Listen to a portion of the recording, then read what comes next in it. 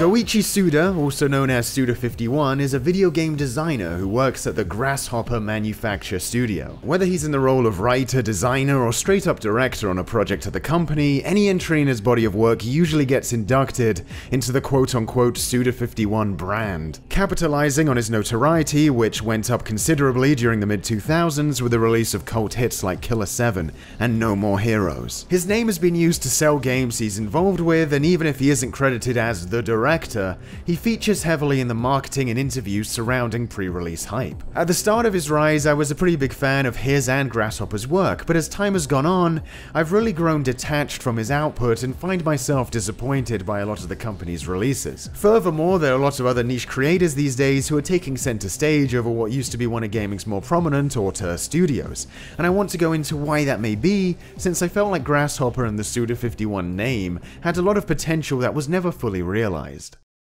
Grasshopper and Suda's first few games, made at the turn of the millennium, were Japanese exclusive story focused adventure titles with simple, stylish presentations to offset the resource constraints they faced at the time. Detective titles starring smooth operators and eccentric characters involved in a complex web of conspiracies and devious plots. A bunch of cool, edgy, exotic, niche Japanese games out of reach for us Westerners, slowly giving the company some exposure. But they still didn't really have much presence outside of their native country. That was until Capcom decided to publish their biggest and most ambitious adventure game yet worldwide Killer 7.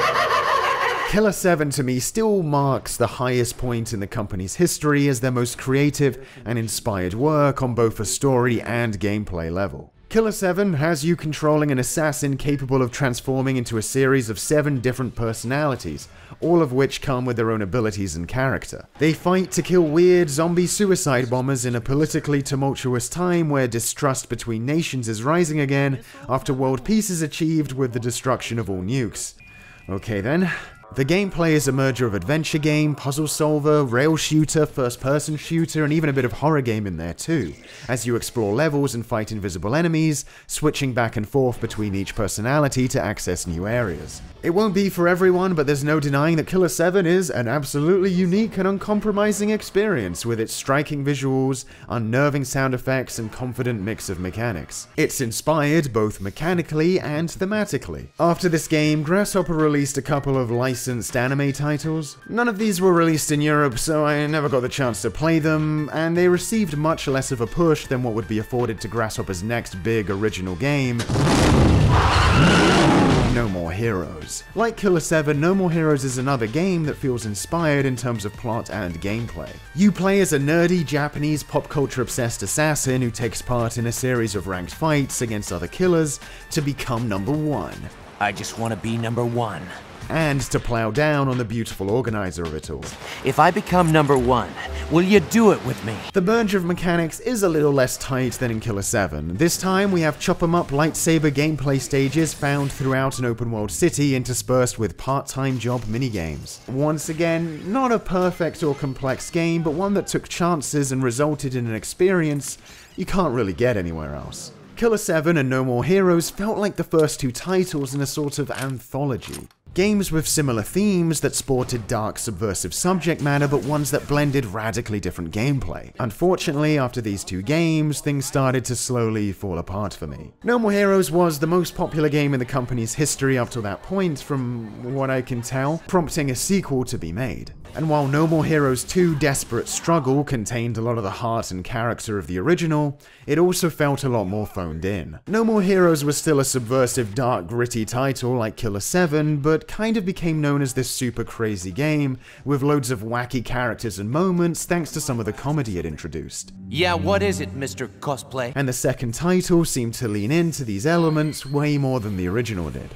What was once an eccentric yet fairly grounded world in the first became a super wacky cartoon of a place in the follow up turning it into more of a parody than a title that deconstructed action games a bit. Sometimes it just wanted to celebrate the previous title's success and bask in its memes, and other times it wanted to develop the characters by re examining the series' premise, and I just don't know if those two things really coalesced all that well here. Not only that, but the open world from the original, which garnered a fair bit of criticism from critics for its sparseness, was removed entirely, with missions now just being picked out from a menu. What was once a pretty out there gameplay loop for an action game, earning money and living out a life in between missions, had become way more standard and conventional, and the lack of depth was now shining through, where it was masked a lot more in No More Heroes 1. The next big Grasshopper project, Shadows of the Damned, was pretty underwhelming overall, which is a shame because it was another collaboration between Goichi Suda and legendary game director Shinji Mikami, creator of Resident Evil and God Hand. In this game, you play as Demon Hunter Garcia and are tasked with going into hell to rescue your girlfriend with your talking skull gun. Yeah, this time I can sum it up uh, pretty quickly.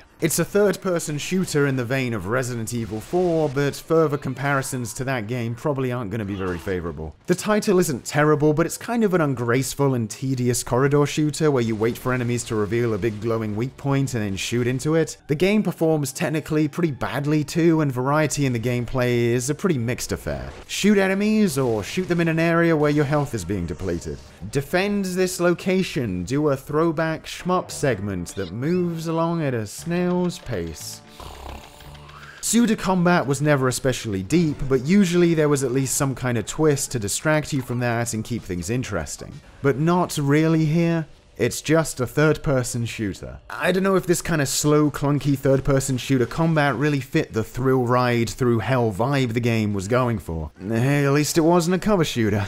Thematically, most of the game is focused on juvenile, crass humor. Sure, Travis made jokes, and No More Heroes was a funny game, but part of the reason Travis's weapon recharge was so suggestive, for example, is that he was a big dork. Older Suda games were way more reserved. Shadows of the Damned seems like it's trying to show off how audacious it is, way too hard, at almost every turn. The honeys there used to give the most lovely jobs before I fucked them in their sockets. Whoa, look at me. Look, I'm not a prude, I'm down for some shocking comedy, but when a game is trying this hard and I'm just kinda yawning and bored throughout instead of being surprised, then something's got to be missing. It's just like a lot of disparate stuff coming at you, an adults only fairground ride that feels like one because of how janky the spectacle is, and that's hard to connect with. Every level feels like a cardboard cutout floating in space somewhere rather than any real sort of place. None of the comedy here manages to distract from the fact that unpolished Resident Evil 4 in Hell just doesn't seem all that impressive compared to previous works at the company. It's with their next big title, Lollipop Chainsaw though, where I feel they really burnt their bridges with me. Both in terms of premise and gameplay, Chainsaw just feels completely unoriginal. You play as a cheerleader who with her big chainsaw has to stop a horde of zombies infesting her town. Basically, it's a zombie pastiche, which has been done to death loads of times already. The dark comedy where zombies invade small town America. Derivative as all hell compared to what we were getting earlier on.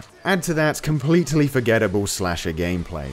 Dial in some dial combos, buy some new ones. Wait for your limited time super powered up mode to become active so you can turn invincible, etc. Even if it wasn't boring, the combat would still be nothing new. No More Heroes isn't some endless well of depth, but I can't think of many other games that play with its same sense of tempo and flow and style. This is just blech. Lollipop Chainsaw is trying so hard at every turn to shock you with its outrageous bosses and premise, but it never comes close to eliciting any of the surprise I got from the first few Grasshopper titles. And of course, any of the charming sophistication of those games is also gone. That's why the next Suda51 branded title, Killer is Dead, is a bit of a guilty pleasure for me. Sure, it's about as standard as hack and slash has come, but this visually striking, smooth talker starring action title comes with a bit more of that noir spark that was present in earlier Grasshopper projects. It may not be getting all that creative gameplay wise like Killer 7, but the mood and style of this one was enough to get my attention. It's a shame the story was convoluted but lacked any interesting hook gameplay wise or character wise to keep you invested throughout like Killer 7 did.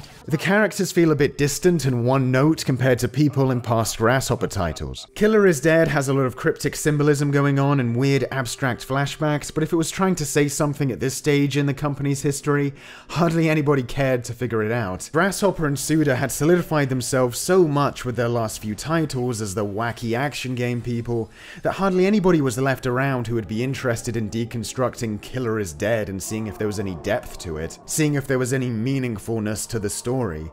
Instead, most coverage was focused on those scandalous gigolo missions about hitting on the babes. Unfortunately, it felt like most people were only interested in talking about that stuff, perhaps a little bit of a byproduct of the new outrageous image Grasshopper seemed like they wanted to have at the time. I think those past few games bit them in the ass a bit because Killer is Dead probably had a little more going on, but I just think that at this point people assumed it didn't. And while I kinda got a chuckle out of them, I don't think Gigolo mode probably helped in that regard. After this, the next heavy hitter on the horizon at the studio was going to be Lily Bergamo, which featured a cool looking chick fighting some kind of giant red monster with a bunch of bandages. After promotion started for the title, and even what appears to be a cosplayer was brought in for marketing, Lily Bergamo was rebranded to Let It Die, a free to play game about blokes bashing each other to bits in their underpants throughout a bunch of subway tunnels. In this title, you play as a nameless mook of your choosing and then head into a giant dystopic tower to level up and make it to the top. The change in look and direction from Bergamo is striking. Apparently, while working on the original concept, Grasshopper focused in on the idea of dying and the game taking your data for use against you, having it coded into a character that would appear in the enemy ranks, and decided to craft a title that would work better in tandem with that concept. Let It Die in its grind isn't really my thing. We've come from stylish, genre bending romps like Killer 7 to free to play Dark Souls like combat with microtransactions. Maybe they thought personality driven single player action games were just not making that much money, so this change to a more role playing style of adventure would be a good mix up for them. And maybe it was, turns out the game did well with over 4 million downloads. Sure, I guess free is an easier way to get there, but this is probably the Suda grasshopper game that's been in the hands of the most people. There was even apparently a Killer 7 DLC event thing that happened. Uh, I don't know, guys. I feel like decades from now, Killer 7 will be a little more well remembered than Let It Die, which feels kind of undeserving of being the big dog Killer 7 runs up behind to as a runt, looking to tag along.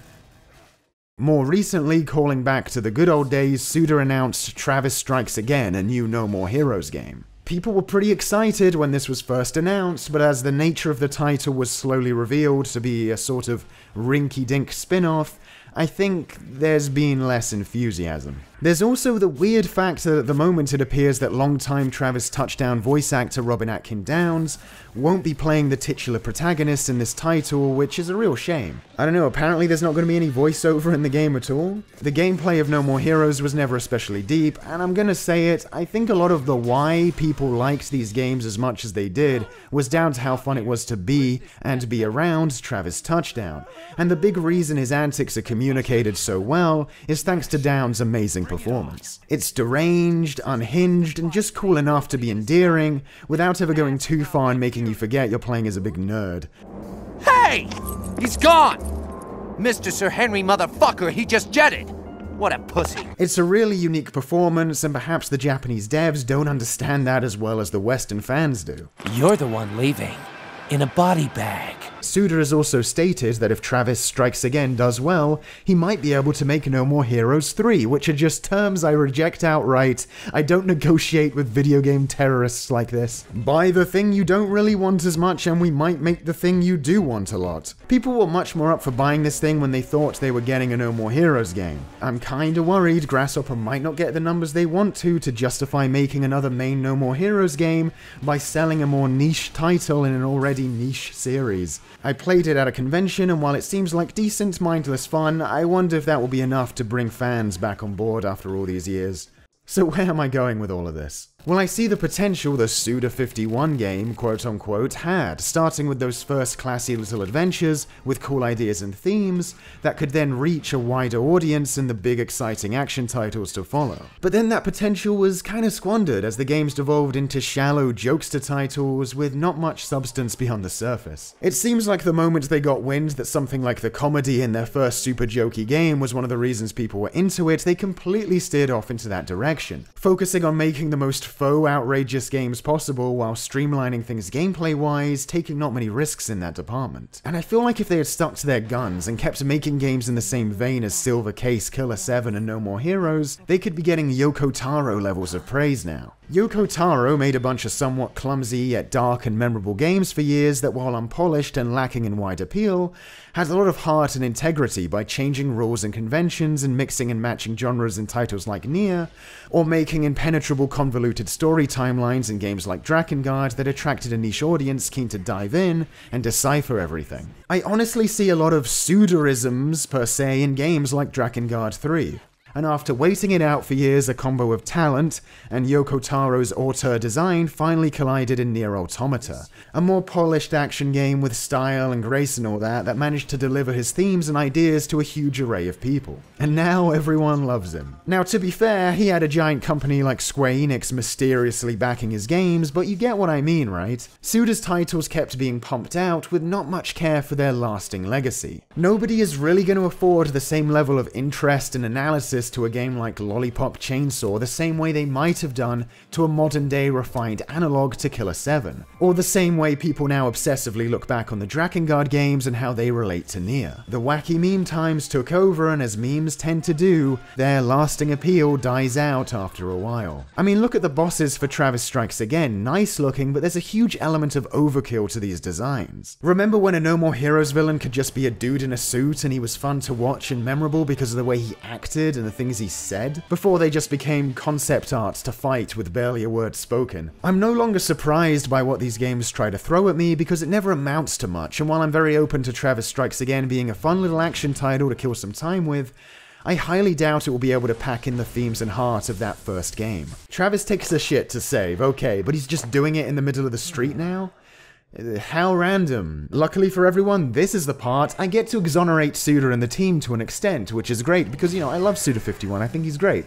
Just seems like a guy who wants to make some badass games. I'm down with that. In an art book released in 2015, Suda spilt the beans on what went down with the development of some of these games. Supposedly, the publisher EA pretty much made Suda scrap his original ideas for Shadows of the Damned, forcing him to write five drafts before giving him the go-ahead. They went as far as to tell him that if you can't sum up the story in about a sentence, then it's a no-go. Yeah, I mean, funding a game made by the Galaxy Brain director of Killer 7 and then giving him reductive constraints like that does seem like a very EA thing to do. So it's unsurprising that something feels a little bit insincere about Shadows of the Damned. It's worth noting that Kadokawa Games, the Japanese publisher for Lollipop Chainsaw and Killer is Dead, were the ones who pushed for the Gigolo missions to appeal more to the Japanese market. I'm not even a detractor of those, but if it wasn't what the actual devs wanted to do, then of course I'm disappointed there wasn't more pushback so they could create exactly what they wanted. Apparently, with Killer is Dead and Lollipop back to back, Suda was worried that Grasshopper would suddenly be seen as this erotic company. It's interesting that this image of him as a sexy provocateur was perhaps pushed on him